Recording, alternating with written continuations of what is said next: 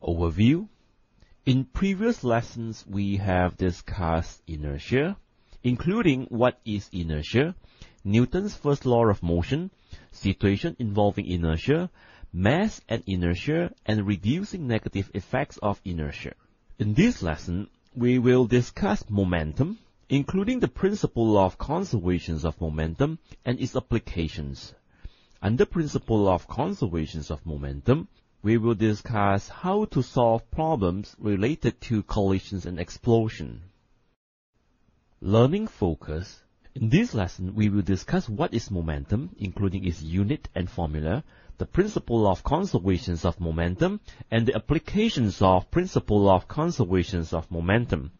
Under the principle of conservation of momentum, we will discuss the formula that describes the conservation principle, we will also discuss the two cases of reaction, collision and explosion. Under collision, we will discuss the elastic collision and inelastic collision.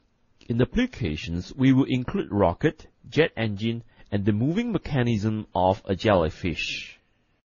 Momentum. In SPM, there are a few things that you need to know about momentum. First, you need to know the definition of momentum. Momentum is defined as the product of mass and velocity. Second, you need to know the formula of momentum. The formula of momentum is P equals to mv, where P is momentum, m is mass, and v is velocity. Third, you need to know the unit of momentum.